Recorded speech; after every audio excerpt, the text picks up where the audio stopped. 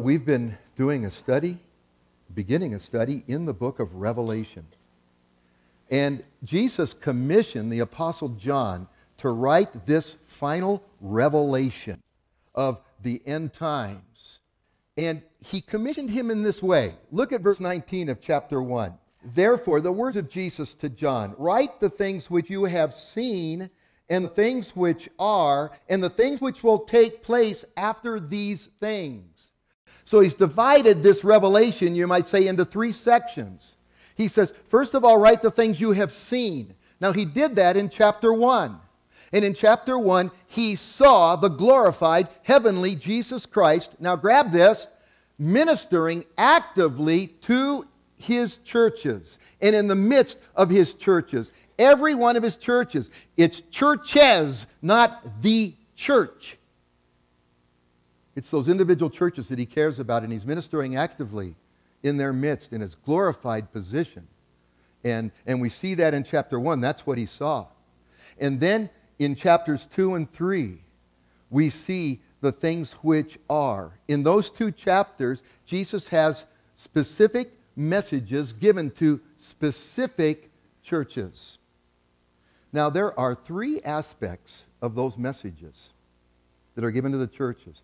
The first one is they are indeed a specific word given to those individual churches at that time historically. Jesus had a message for those churches. That's the first aspect. The second is those churches provide for us, you might say, a picture. They are representative of all churches in the entire church age. So these messages pertain to all of God's churches. Any church at any time, in any period, in any place in world history, right up to the present, can find that little church mirrored in one or more of these churches right here. And so we spent some time before we got into Revelation looking at the message of Jesus Christ to his churches. But there is a third aspect of these churches, and that is a prophetic aspect. What is intriguing about these churches is that they provide, interestingly, a panorama of church history from the age of the apostles, a prophetic panorama from the age of the apostles, from the time of this writing, right to the end of the age and the rapture of the church. Now, the early church could not see that. They were right at the beginning. But the church today that cares to notice, this church, as Paul put it, on whom the end of the age has come, it is crystal clear. Now that's interesting because if he had given these messages in any other order than the order in which he gave him, this wouldn't work. So the order in which he gives these messages becomes very significant. And what I would like to do this morning is we looked at these churches individually in some detail. What I would like to do this morning is just look at them in a very quick overview and look at them in this prophetic sense, how they prophesy church history right from that day until the end, and then draw a, an application to us today with that. So uh, we are, I believe, very, very likely uh, the last generation of the church age before the Lord comes for his church. So I want to look at I want to look at a panorama of church history and point out some things to you that I think you'll find very interesting. And it ought to uh, uh, uh assure you all the more that this is the living Word of God. It's not accidental. It's not just the words of men. So that panorama of church history. Remember, the first church he had a message to was the church at Ephesus. And he said a lot of good things about Ephesus. He said, man, you're doing a lot of good work. So you guys are, you know, are, are really busy doing good things for the Lord. But the key to what he had to say to them is in verse 4 there.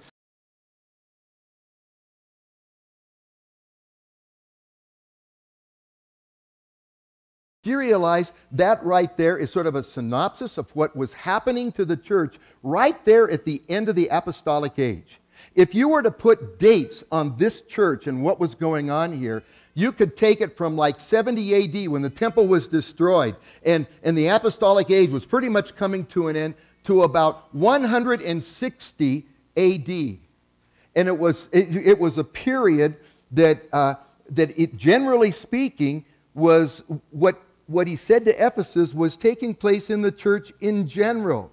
It's interesting that even at the end of the apostolic age, the church was already leaving, drifting from that simple, that pure, that dynamic faith in and just love for Jesus himself.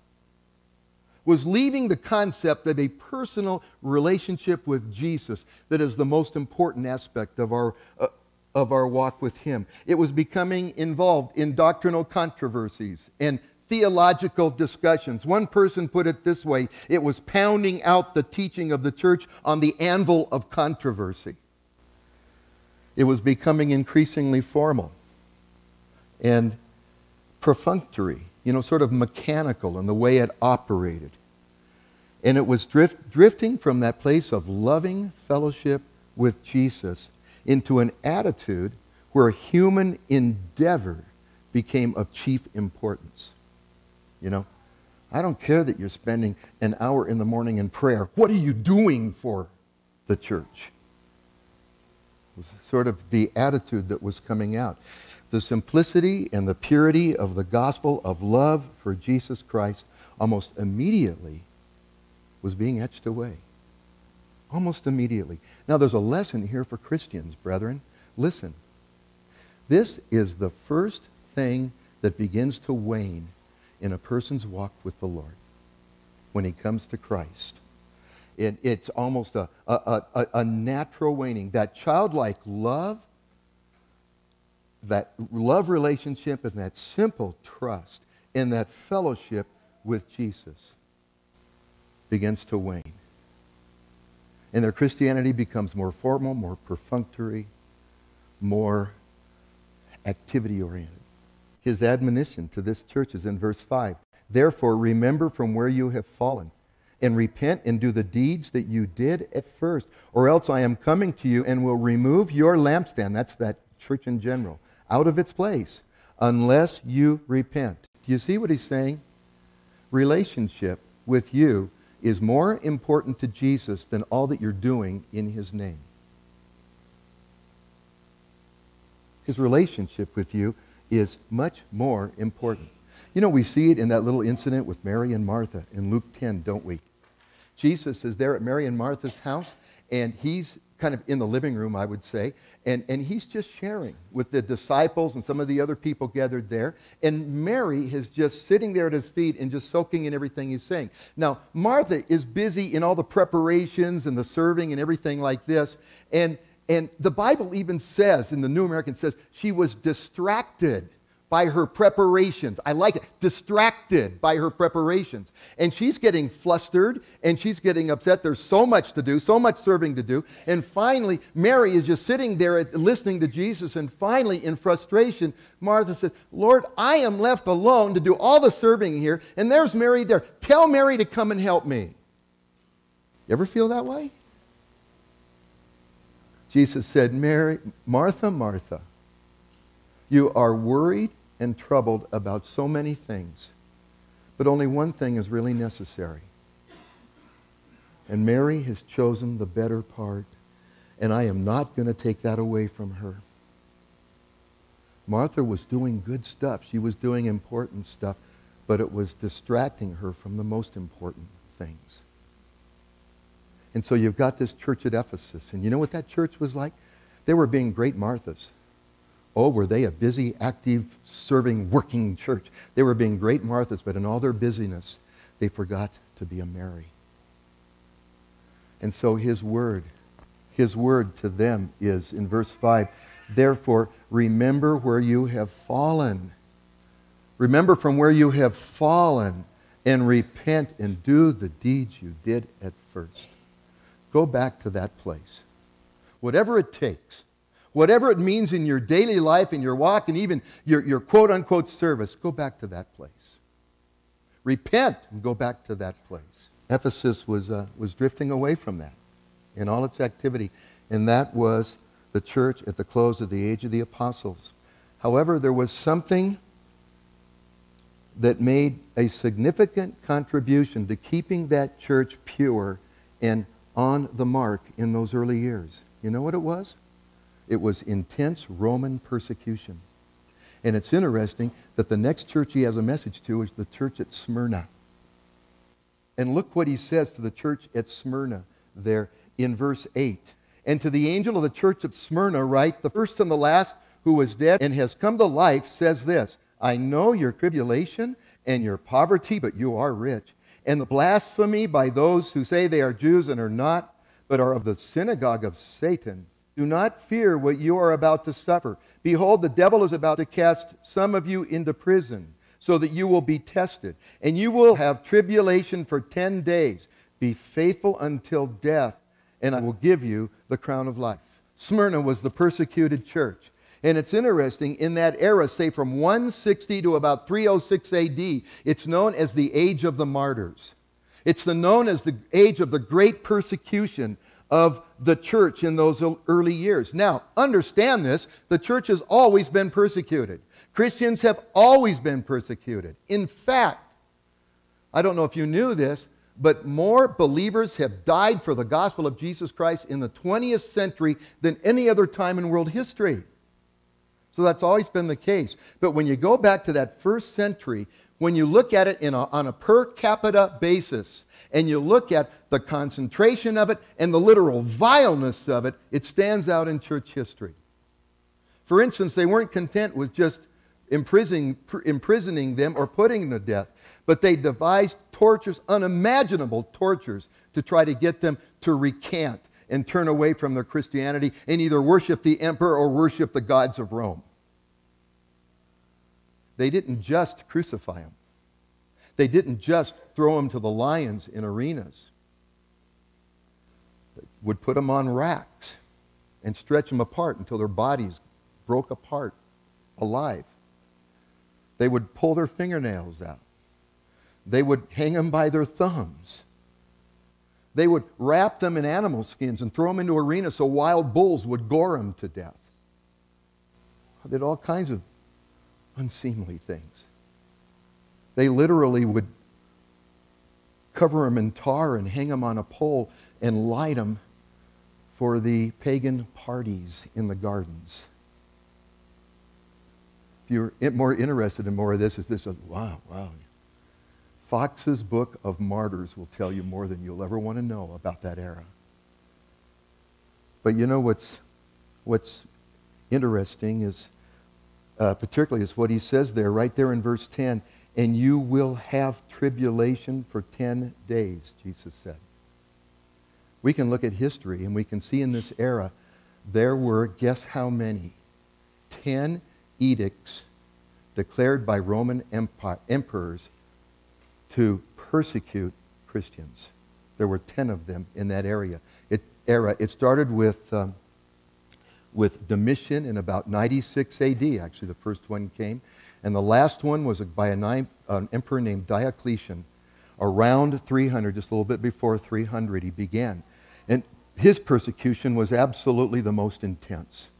It was the 10th, and it was by far the worst.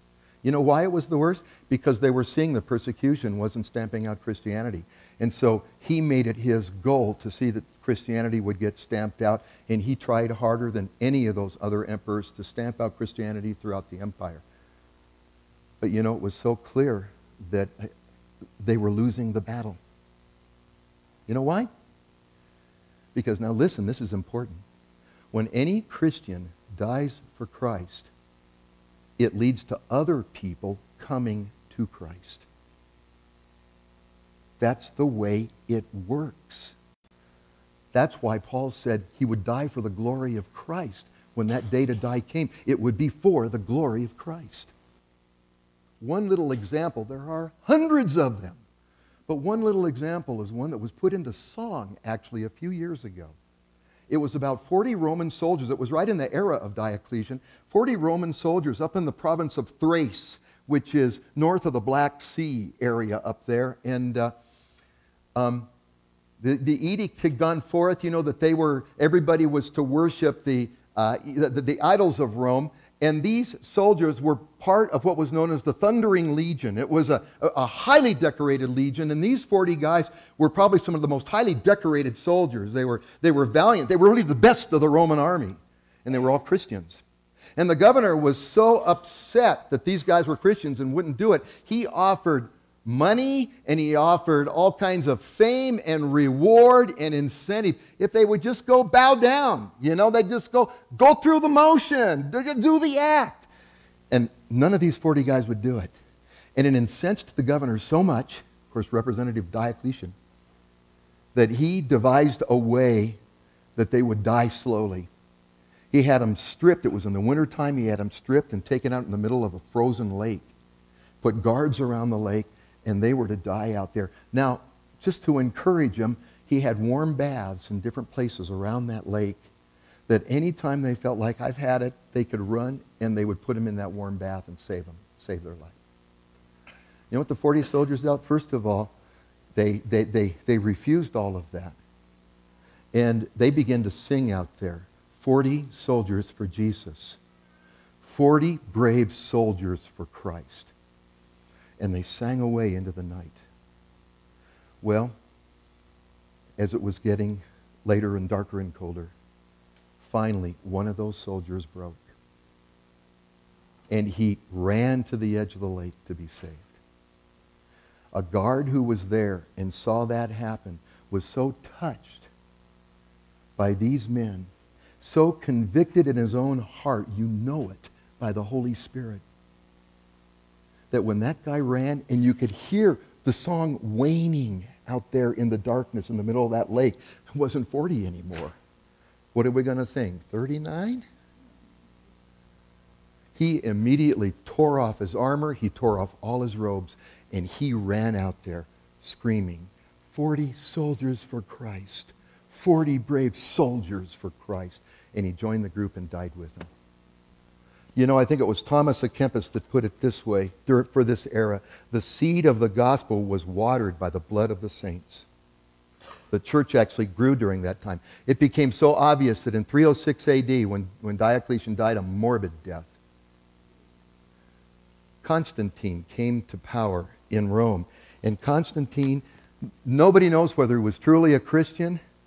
Uh, there's, a, there's a lot of question about that, but he definitely uh, was, was warm toward Christianity, definitely warm toward, toward it. And in 306 AD, he stopped all persecution. He, for the first time in its history, literally legalized Christianity and encouraged people to be Christian. Now, Christianity, in its relationship with the world, suddenly experienced a radical change that it had never experienced before in its 300 year history. Suddenly it was okay. It was even acceptable. It was, it was almost cool to be a Christian. So that brings us to the church at Pergamum. Look at, look at what he says to Pergamum. Just look at verse 14. But I have a few things against you, Jesus said, because you have there some who hold the teaching of Balaam, who kept teaching Balak to put a stumbling block before the sons of Israel, to eat things sacrificed to idols, and to commit acts of immorality. Now, if you don't know the story out of Numbers, just briefly, Balaam was hired by King Balak to curse the, the, the, the Israelites as they were making their way to the Jordan River to go into the promised land. He was a Moabite king. And Balaam couldn't do it, God would not allow it. So he hatched a plan.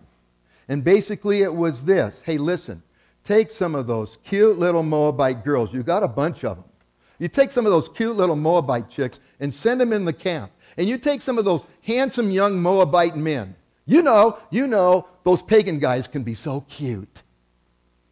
And you send them into the camp to make friends, to make friends, and to show them some of the cool things you do, you know, how fun and and, and exciting and cool idol worship can be. It's sort of the pagan way of partying out, you know. And they went in there to cause compromise in the camp.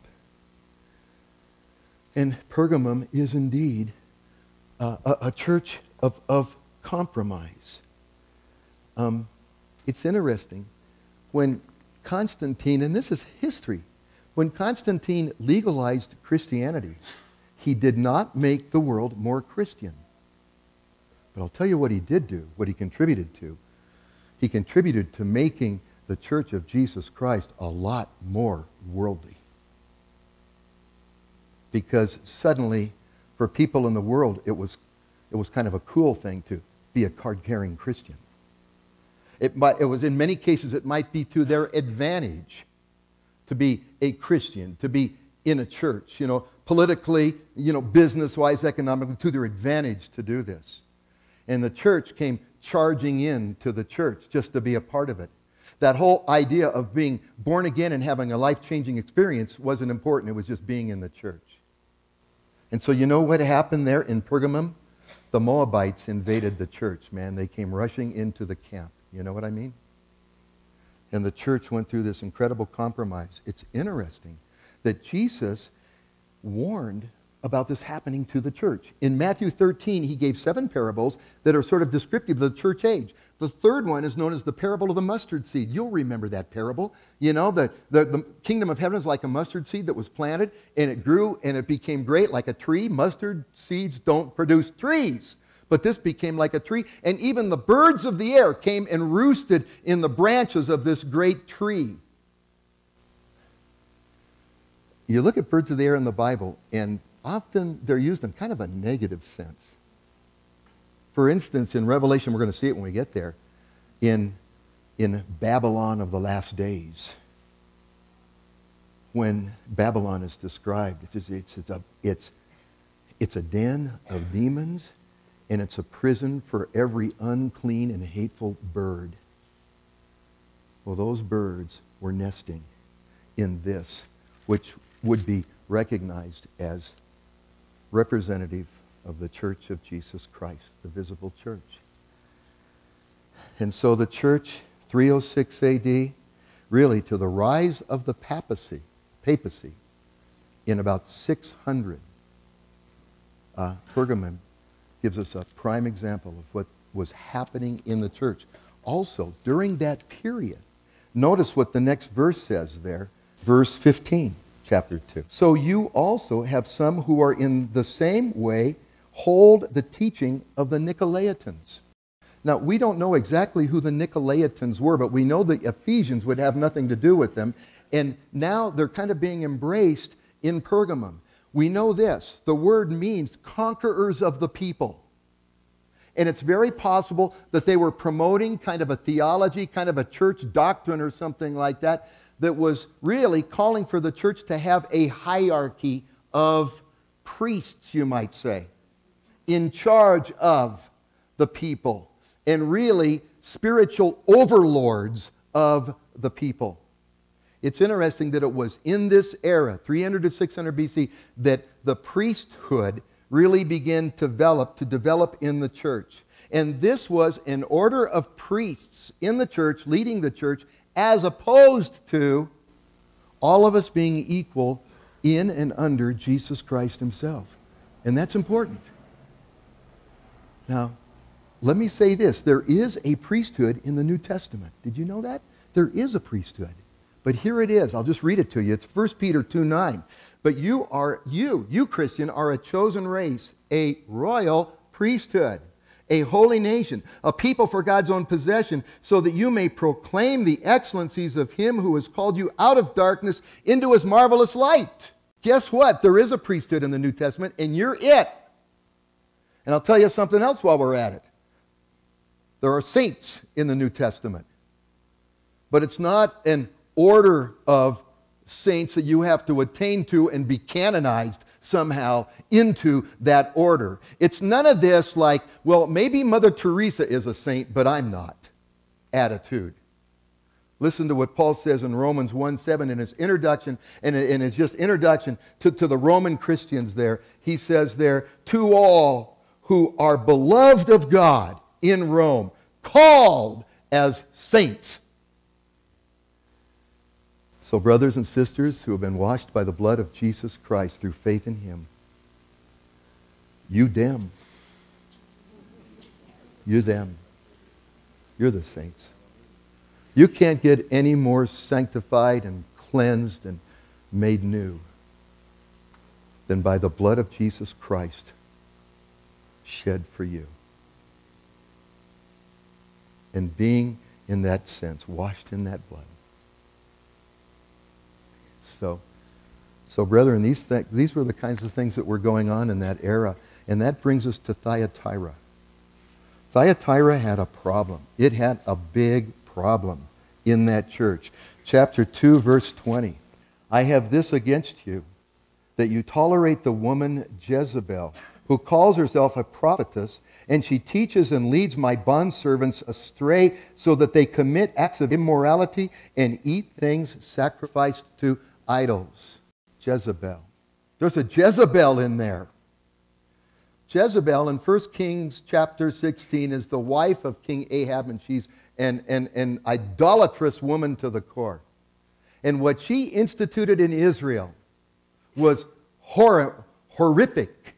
She, there, was, there was always the problem of idolatry in Israel, but she made idolatry the state religion of the nation of Israel. Do you realize that?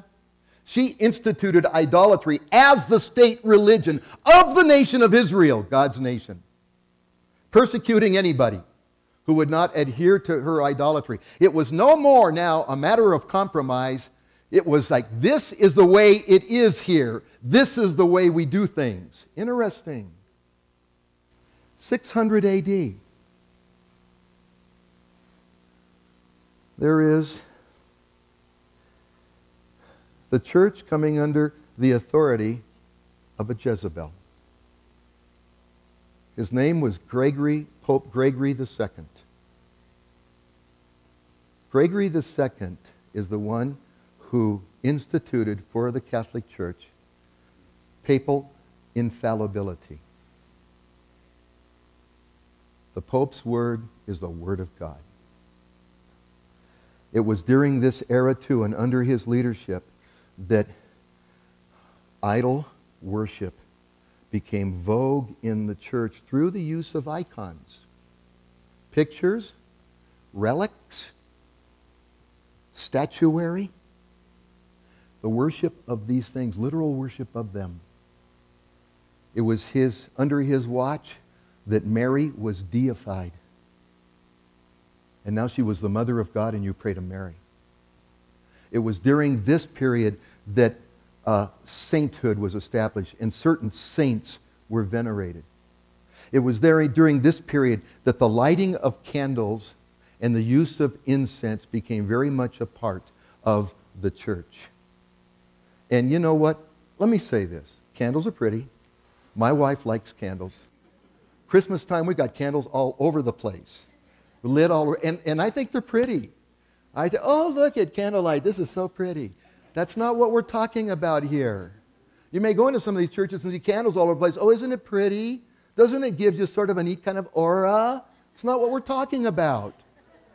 Candle lighting has this mystical thing where, where, where, where, where it actually is, is important mystically and spiritually to, to light that candle. It'll affect somebody eternally by lighting that candle. And the use of incense and everything like that was the same kind of a thing. You know, between the 6th and the 16th century, you know what that's called in history? The Dark Ages. It is called, it, it, is, it is by some called the devil's millennium. That's basically all there was, and that was basically the church. It's interesting that in the story of Jezebel, you have the story of Naboth's vineyard. Remember that one? Ahab wanted Naboth's, Naboth's vineyard. And Naboth was just a godly, sweet man, and that vineyard was his inheritance. That when his family came to Israel, came to Canaan, and God, God dispersed the land, his family was given that. It was his inheritance from God, really. And he said, No, I cannot sell it. I cannot. It's, it's against God's law to sell it. I, I cannot and I will not sell it. And Ahab was so upset because he wanted Naboth's vineyard. And Jezebel comes along and says, Well, I can take care of that. How did she do it? She had Naboth falsely accused of blasphemy and had him killed, and then the crown confiscated his land. That's how she did it.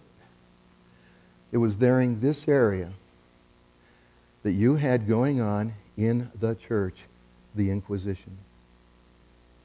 Innocent people killed for trumped up charges of blasphemy. And so, what happened to all their possessions and all their land? Confiscated by the church. Do you realize it was this era that the church became as incredibly wealthy and powerful as it did? And, uh, and, and mostly through the Inquisition.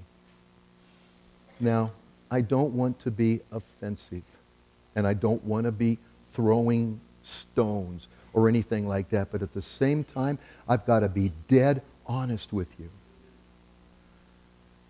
I look at Thyatira, and now follow me now. Follow me through. And that is the Catholic Church as a system, as an institution. In fact, they live up to their very name, Thyatira. The word Thyatira in the Greek means perpetual sacrifice or continual sacrifice. You know what the Mass is? Many of you know because you've got Catholic background. It's literally partaking of the body and the blood of Jesus Christ in those elements. That those elements, they call it transubstantiation. Those elements literally become in the Mass the body and the blood of Jesus Christ, and you take that.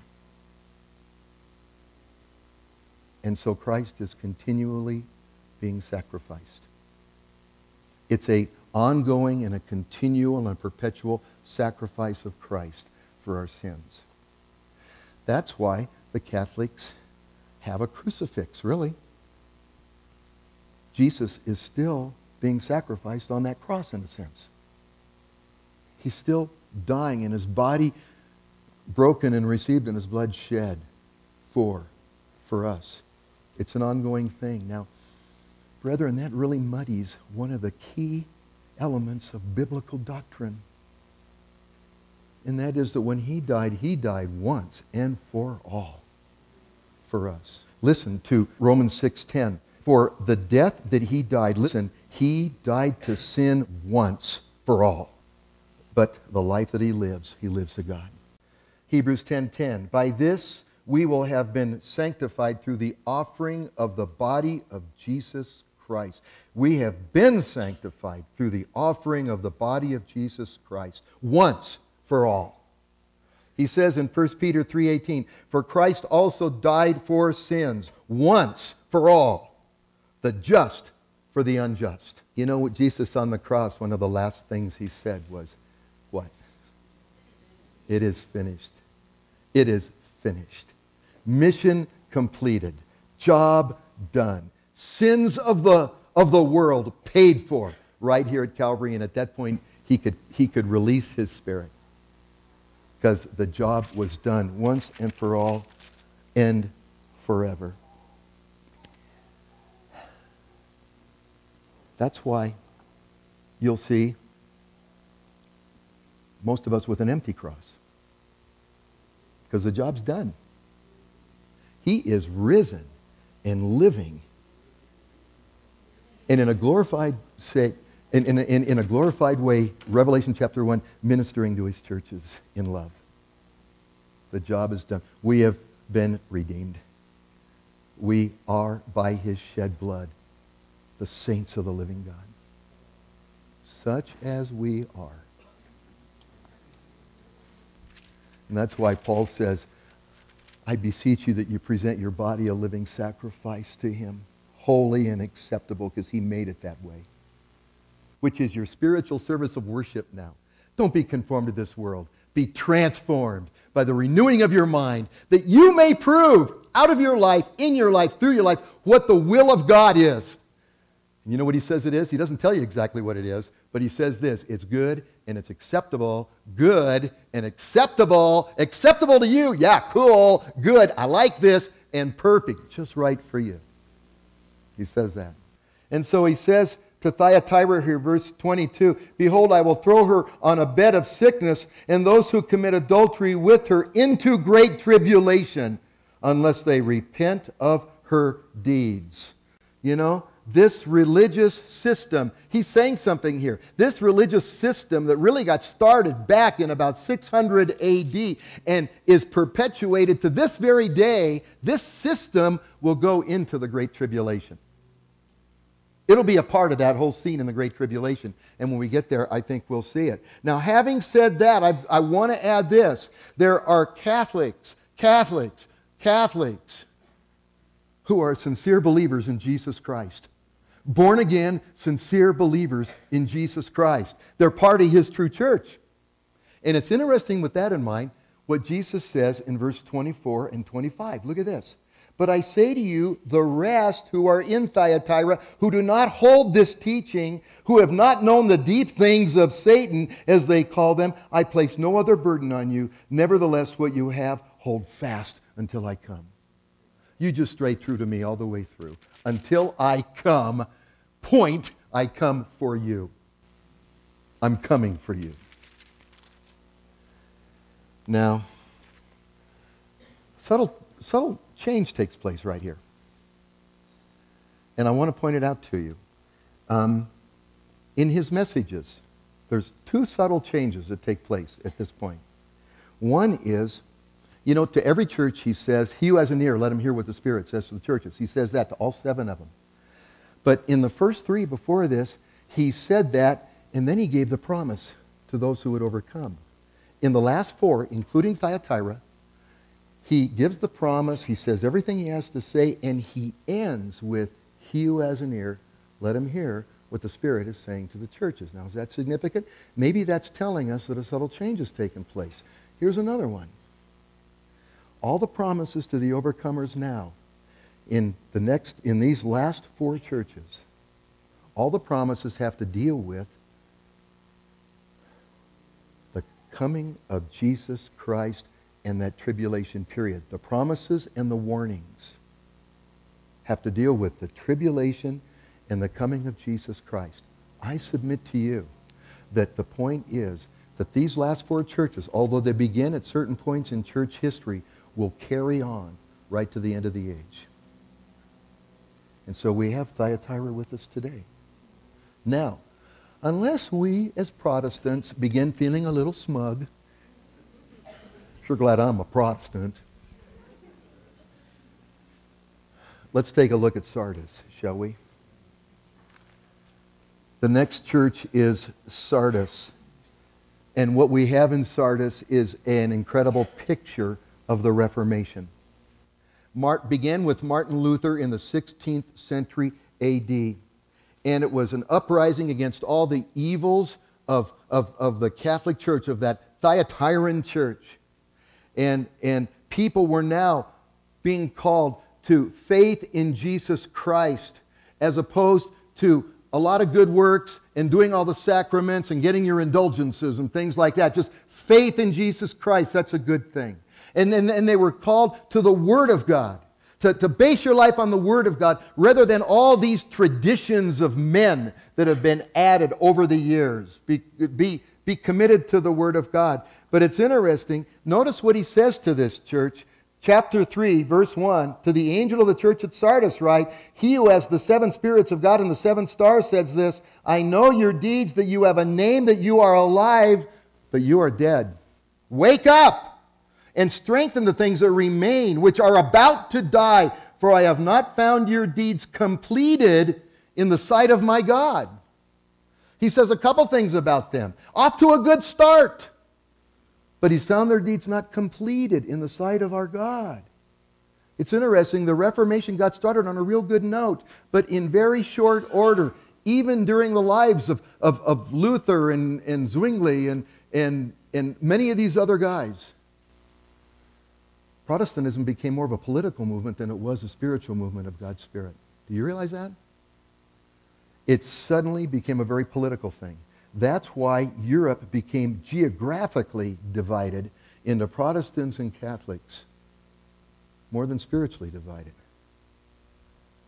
And on top of that, as good a start as it had, it kept a lot of those old traditions that came from pagan origins within the church. Infant baptism was continued. Uh, a lot of the ceremony and the pomp and the structure continued right on, hardly changed.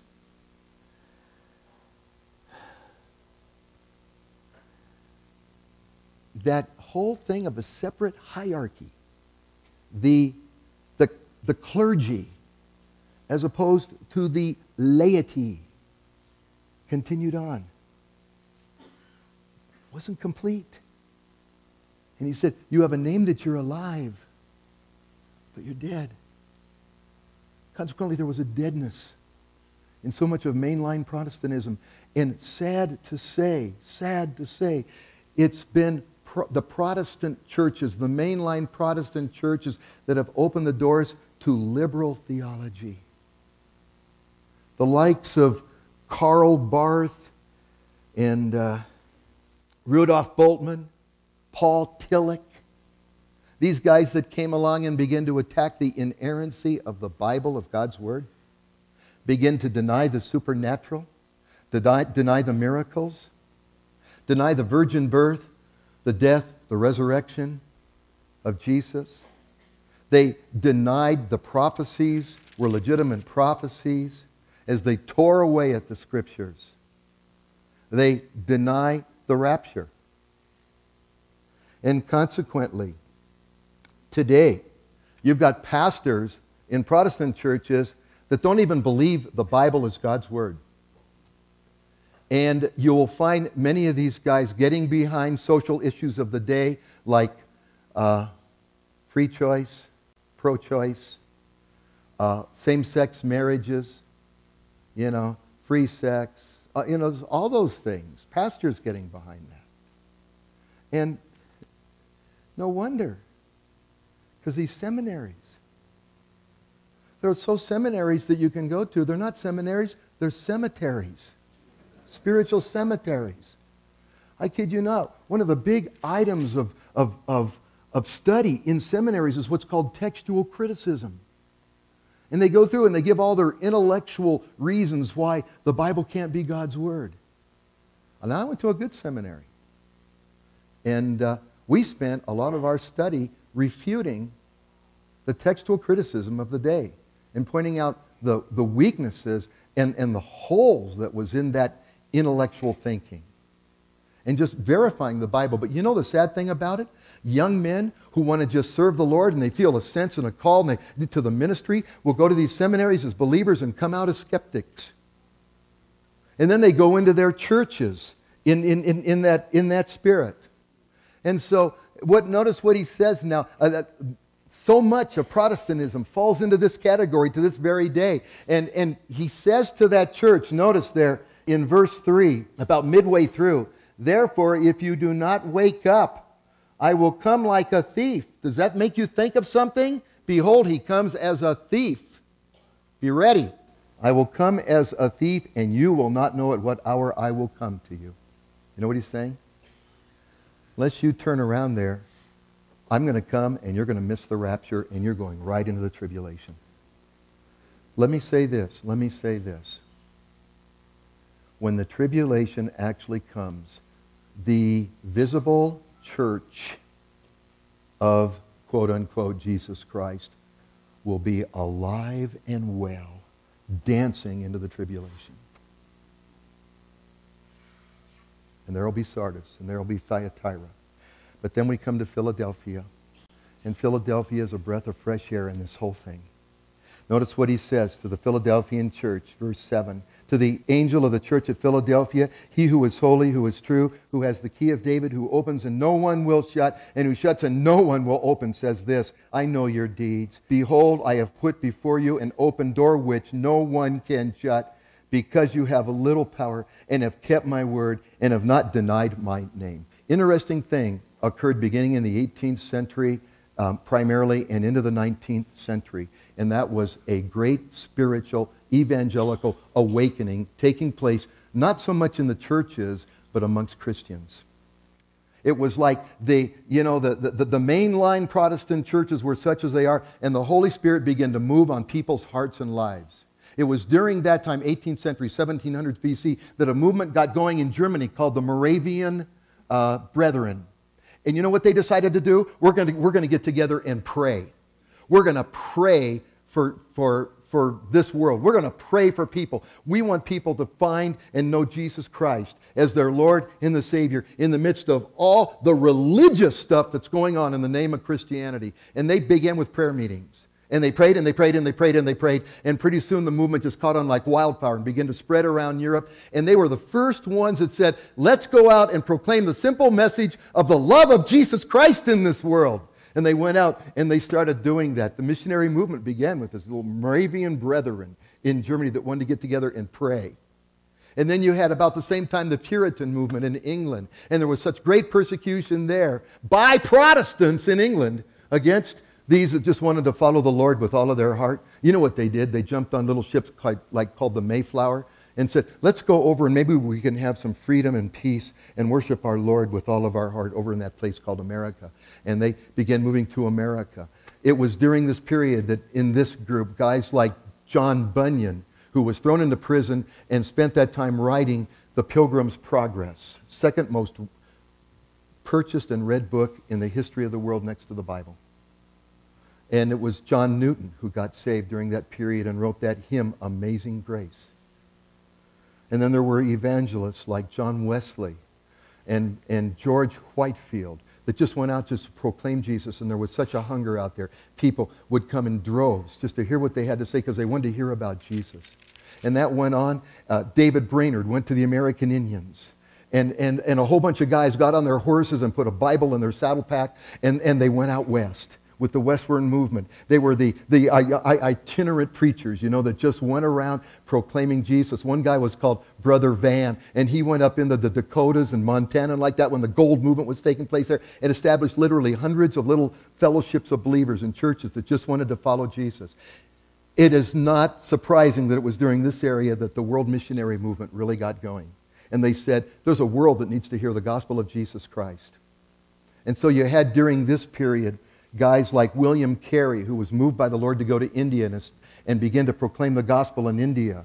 You had um, David Livingstone, who went to Africa. You had Hudson Taylor that went over to China.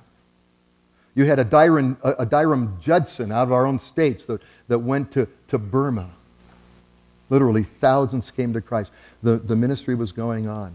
And you know what? That, that that movement of God's Spirit of a pure and simple fervency for the spreading of the message of Jesus Christ, which is so akin to the first century. That's why we spent a lot of time studying the book of Acts. Because it's the work of the Holy Spirit in the world today. To this day, that movement has literally gone into every nation of the world. Every nation of the world has been introduced to the gospel of Jesus Christ, which is interesting.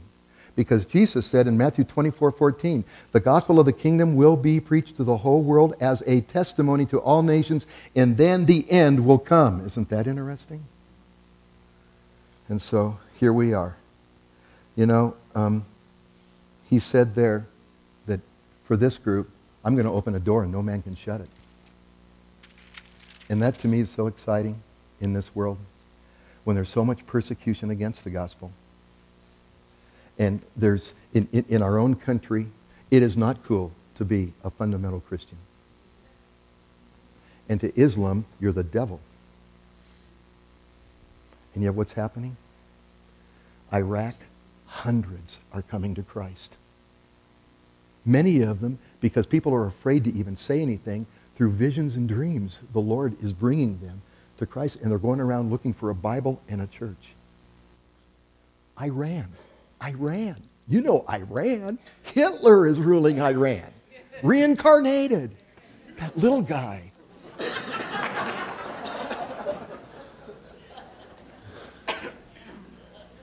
Iran. In the last few years, a million have come to Christ in Iran. Thank you, Jesus. The Sudan. You've got a radical Islamic government in control in Sudan that is literally practicing genocide against Christians. In 1979, it is estimated there were 500 believers in, in, in the Sudan. Today, it is estimated there are 5 million. You see what I'm saying? One person dies for Christ and several come to Christ. And so, and so these are the kinds of things that are, Jesus said, I open a door. Believe me, no man's going to shut it. Hallelujah. You're on the winning team, brethren. So, man, you know, gird up the loins and go for it.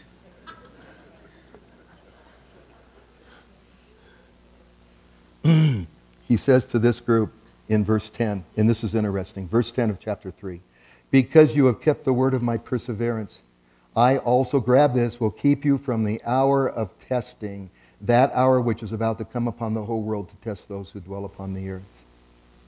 He had said to Thyatira and he had said to Sardis, You're going into that hour. He says to Philadelphia, to these, He says, I'm going to keep you, grab it. I'm going to keep you from the very hour of that testing the very time of that testing, I'm keeping you from that. You know what that means? That means before that great tribulation period comes, he is literally taking us out of here. Those who just want to follow and serve and believe in Jesus. Pretty simple. Church at Philadelphia. And then that brings us to the church of Laodicea.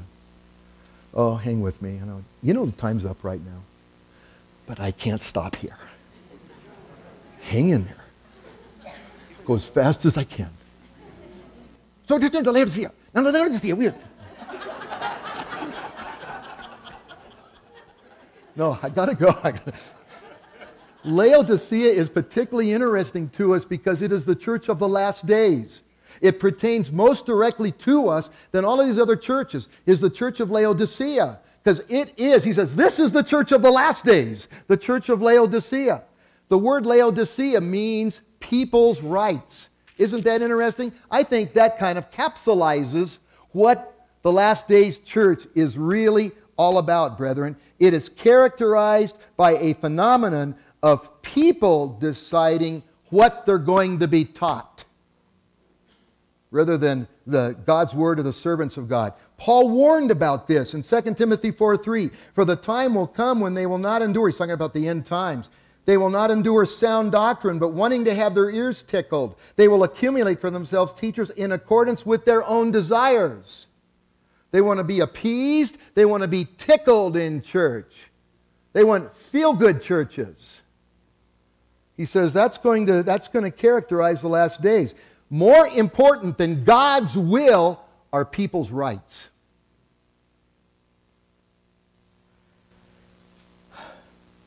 So you have churches that now tolerate and advocate all kinds of worldly ways.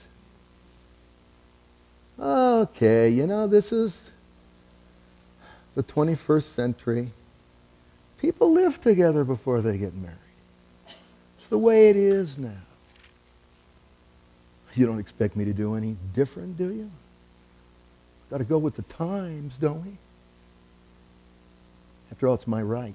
I can do what I want to do. That's my Christianity. You better accept my Christianity or you're being judgmental.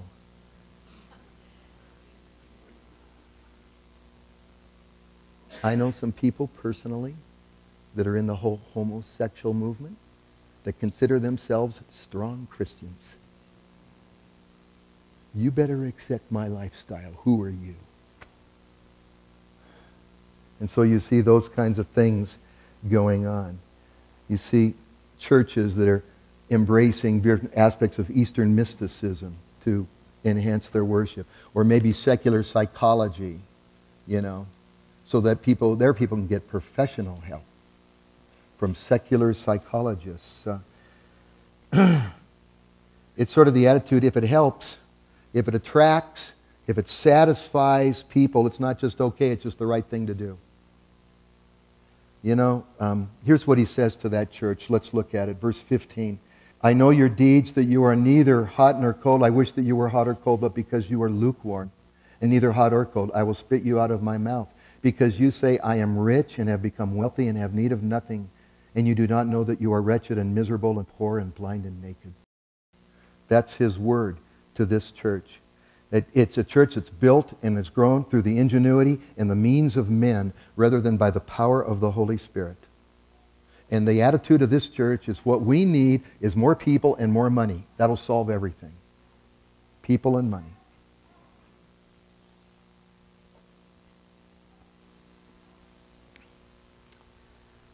It's, it's a lukewarm church. Tepid. It's not cold or cool, which is so refreshing. And it's not like hot water, which is so useful.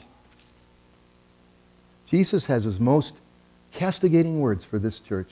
He said, I will spit you out of my mouth. The word there in the Greek is literally, I will vomit you up. And so, brethren, here we are. And uh, the clear panorama of church history from the age of the apostles to the present is laid right before us, and it was written in advance.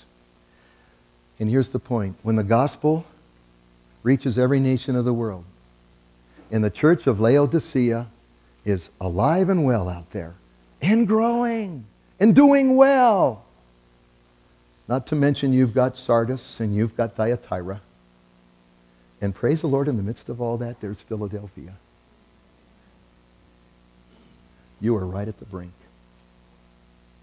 You're right at the brink of section number three of Revelation coming to life. And he said, and write the things which will take place after these things. And it's the end of this age. So here we are.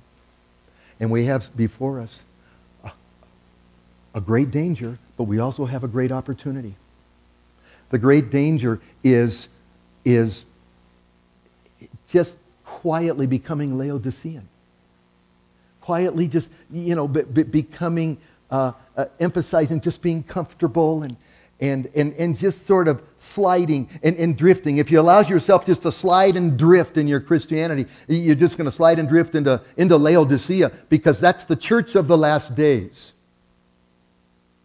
But great opportunity.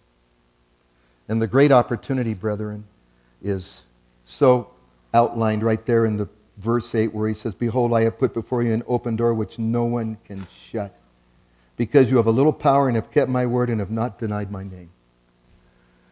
He says, You have the opportunity for your life, such as it is, little power, little life, little group, to count for the living God in an eternal way. Every one of us. That's why Paul says, I beseech you by the mercies of God just to present your body a living sacrifice, holy and acceptable unto him, which is your spiritual service of worship. Don't be conformed to this world. Be transformed by the renewing of your mind that you can prove what the will of God is, that which is good and acceptable and perfect. God can use you. He puts before those who are his an open door, and no man can shut that. I know several testimonial examples of junior high and high school kids that came to Jesus Christ and went home as a new person, were laughed at by their own parents, but the long and the short of it was the parents came to church to find out what all this was about because of the changed life of their teenager and came to Jesus Christ in faith. Wow. Wow. So here's where we're living, and I wrap it up with this. Here's where we're living. We're living very much like in the days of Joshua in Israel, when Joshua said, You choose this day whom you will serve. Because there's a lot of phony gods out there that want you to worship them. It's like Elijah said if the Lord is God, serve him. If that Baal is God, then follow him. But Joshua said, As for me and my house, we're going to follow the Lord. And what's next for that? Revelation chapter 4, verse 1 and 2. Heaven is open. A voice like a trumpet said, Get up here. And I was in the presence of the Lord before his throne. Wow. Let's pray. My Savior, my Jesus,